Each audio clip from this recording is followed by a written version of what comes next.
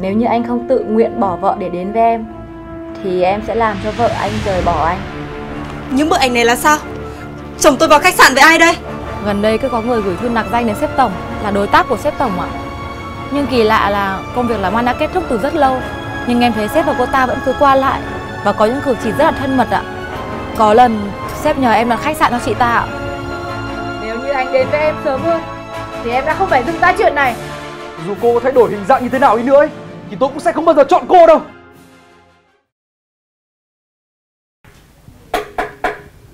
Mời vào. Em gửi anh ạ. Tôi có đặt hàng gì đâu nhỉ? Không phải hàng đặt đâu ạ. Đây là quà em tặng anh ạ. Quà tặng tôi? Nhưng mày đâu phải sinh nhật hay dịp gì?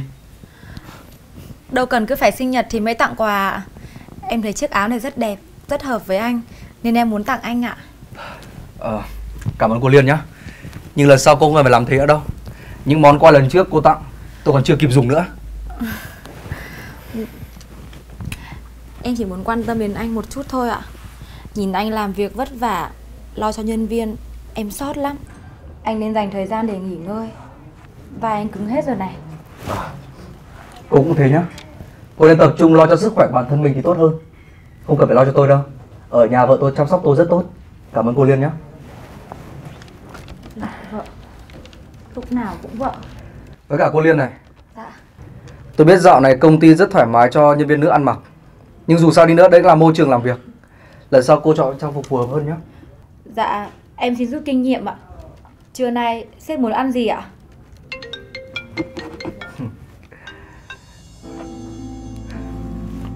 Alo Vợ yêu à? Em ta làm rồi à? Ừ Anh đến đưa em đi ăn trưa nhá. Dạo này anh bận quá Không có thời gian đưa em đi ăn được. Nhá Đợi anh 5 phút thôi Anh đến ngay. Yêu em. Ờ Nếu như không có việc gì nữa cô nghỉ trưa luôn đi. Với cả chiều nay có lẽ tôi về muộn đấy. Dạ vâng ạ. Chào cô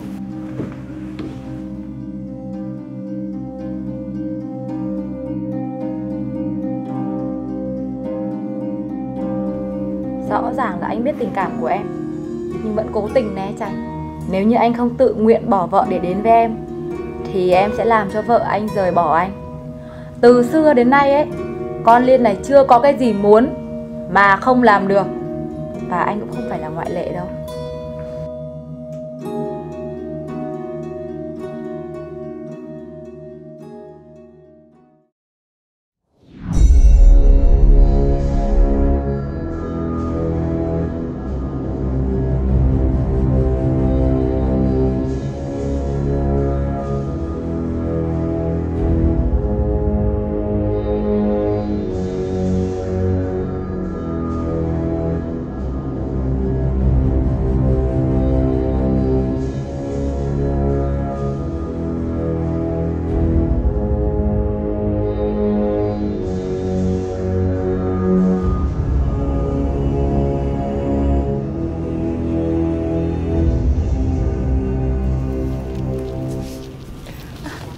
Em chào anh chị ạ. Để em cầm túi cho anh. Ờ không cần đâu.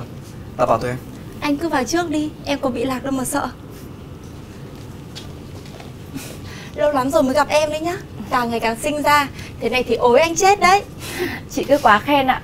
Em cũng chỉ muốn vào một nửa của chị thôi ạ. Thôi tôi xin cô. Mà thôi em làm việc đi. Chị phải vào trong đây. Dạ vâng ạ.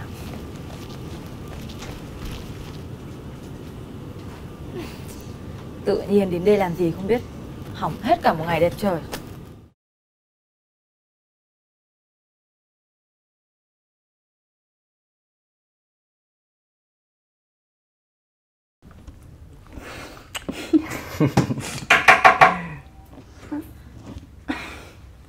Em xin lỗi ạ, tại tay em bận quá. Em mời anh chị uống nước ạ. Ừ chị cảm ơn. Em em chu đáo quá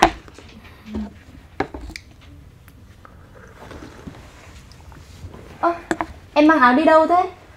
Dạ, hôm nay sếp có nhờ em mang đi giặt ạ. Hôm nay tôi nhờ cô đi giặt hộ á. Dạ vâng ạ. Tại sao tôi lại không nhớ nhỉ?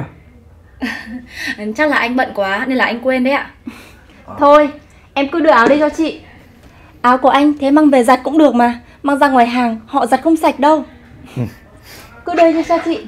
À, dạ vâng, thế anh chị nói chuyện đi, em xin phép ra ngoài ạ.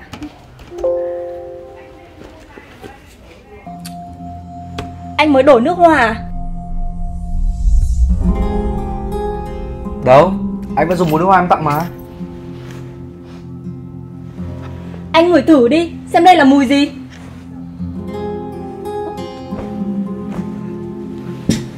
Thế vết son môi này là sao? Ờ nhở Tại sao có vết son này nhở À Chắc là đi thang máy Họ quệt vào ấy mà Anh chắc chứ?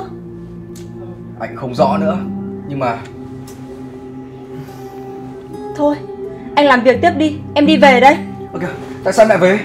Giận anh à? Anh đã bảo là anh không biết vì sao có vết son này mà. Thôi, anh không cần phải giải thích nữa đâu. Em hiểu mà, anh làm việc đi. Mình gặp nhau ở nhà nhá. Ơ Thư Thư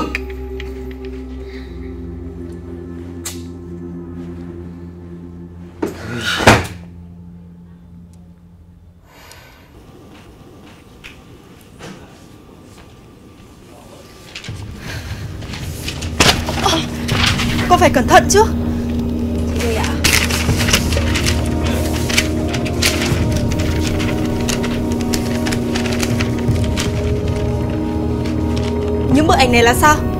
Chồng tôi vào khách sạn với ai đây? Em, Cô nói đi chị ơi, chị cứ bình tĩnh đã. Em sẽ kể hết cho chị, chị đi cùng em ạ.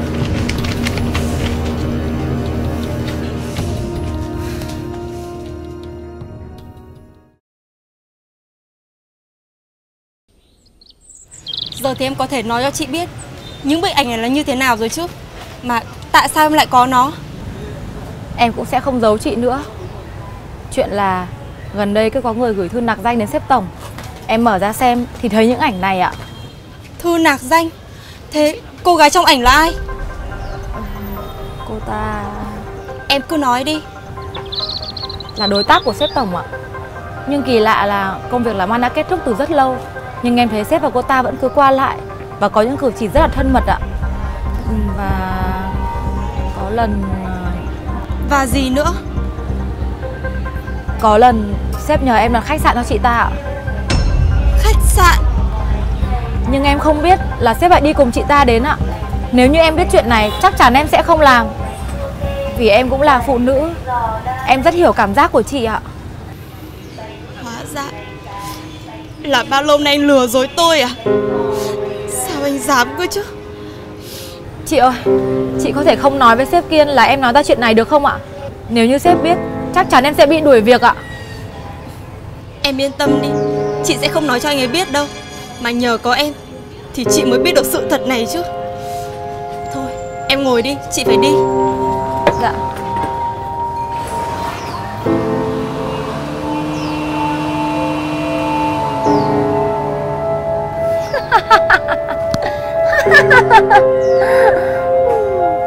Đúng là đàn bà.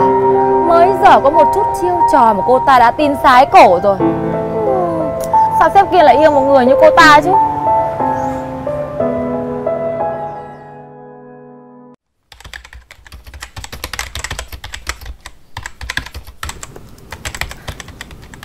Em chào chị ạ. Anh Kiên đi công tác về rồi chứ? Dạ vâng, anh vừa về công ty được vài phút ạ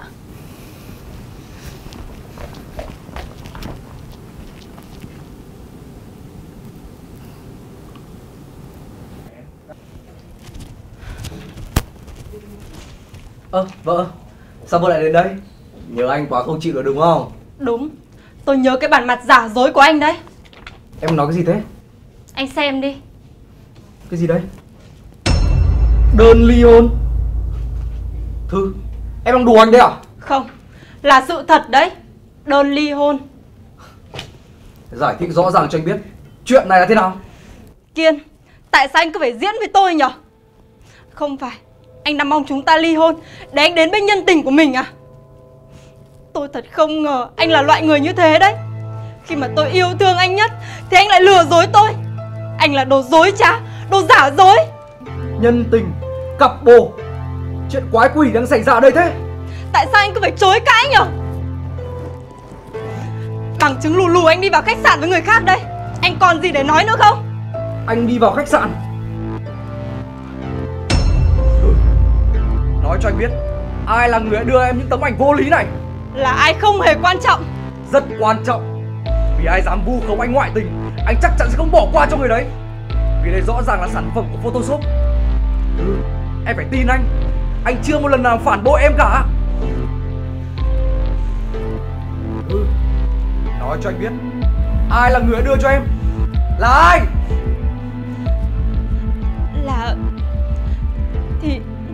Thì là Liên Thư ký của anh đấy. Liên. Thì ra là cô ta.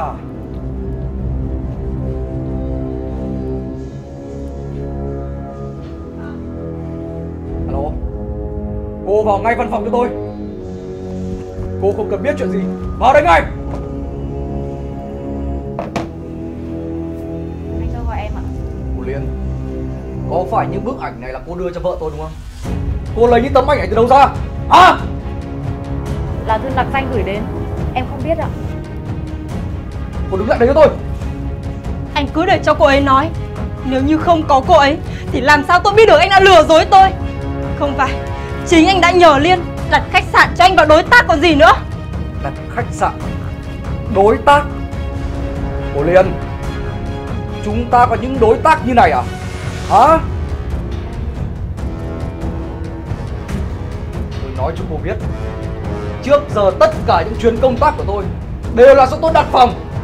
Việc gì tôi phải nhờ cô đặt phòng rồi tôi đi ngoại tình cơ chứ? Nói cho tôi biết tất cả những tấm ảnh này đều là do cô photoshop phải không? Anh nói gì em không hiểu ạ. Không phải em làm đâu ạ. Có phải cô làm hay không ấy Thì để tôi kiểm tra máy tính xem nhá.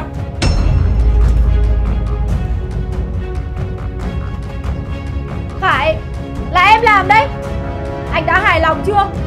Kìa Liên, Tại sao cô phải làm như thế? Cô làm thế thì được cái gì cơ chứ?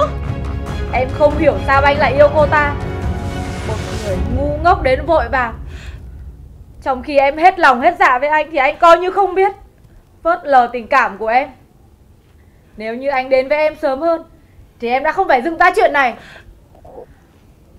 Còn cô Cô tin tôi làm đúng không? Chuyện chiếc áo có vết son môi. Và mùi nước hoa lạ. Cũng là do tôi làm cả đấy. Chắc đến bây giờ Cô cũng không biết đâu nhỉ? Cô im đi! Liên Tại sao cô lại trơ cháo như thế cơ chứ? Cô nghĩ là Đi kiếm quyến rũ chồng của người khác là hay ho lắm mà. Tôi nói cho cô biết Không chỉ có chồng tôi đâu Mà tất cả những người đàn ông khác Sẽ không bao giờ yêu loại phụ nữ như cô đâu. Cô hiểu không? Cô Ừ. Em không việc gì phải phí lời của cô ta cả Còn cô Dọn dẹp đồ đạc Rồi cút khỏi công ty của tôi đi. Từ ngày mai Tôi không muốn nhìn thấy bản mặt cô nữa đâu. Em xin anh, anh hãy nghĩ lại đi. Em mới là người yêu thương anh nhất. Em hứa với anh là sẽ xứng đáng với anh. Cô ta làm được gì cho anh thì em cũng sẽ làm được. Hay là anh thích khuôn mặt này Vậy thì em sẽ phẫu thuật giống cô ta. Em xin anh, anh hãy nghĩ lại đi. Cô đi ra. Cô điên rồi. Để nói cho cô biết Dù cô có thay đổi hình dạng như thế nào đi nữa ấy, thì tôi cũng sẽ không bao giờ chọn cô đâu. Vì người tôi yêu trên đời này ấy, Chỉ có một mình là vợ tôi thôi. Cô hiểu điều đấy chứ? Chúng ta đi thôi em.